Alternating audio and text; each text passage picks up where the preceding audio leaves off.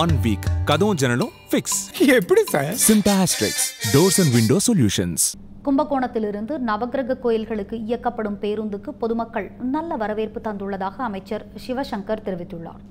தஞ்சை திருவாரூர் நாகை ஆகிய மாவட்டங்களில் உள்ள ஆறு முக்கிய முருகன் கோவில்களுக்கு இயக்கப்படும் பேருந்து சேவையை போக்குவரத்துத்துறை அமைச்சர் சிவசங்கர் உயர்கல்வித்துறை அமைச்சர் கோவி செழியன் ஆகியோர் கொடியசைத்து தொடங்கி வைத்தனர்.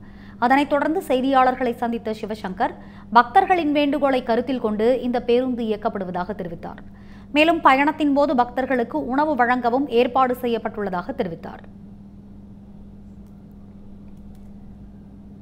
மக்களுடைய எண்ணத்தை நிறைவு செய்கின்ற வகையில் ஒரே பேருந்தில் அனைத்து இடங்களையும் சென்று வருகின்ற வகையில் இந்த பேருந்து அமைய இருக்கிறது சனி ஞாயிறுகளில் துவங்க செயல்பட இந்த பேருந்து திட்டமிடப்பட்டிருக்கிறது. காலை துவங்கி மாலை இந்த பயணம் நிறைவுறும். போகின்ற வழியில் அவர்களுக்கான உணவு ஏற்பாடும் செய்யப்பட்டிருக்கிறது.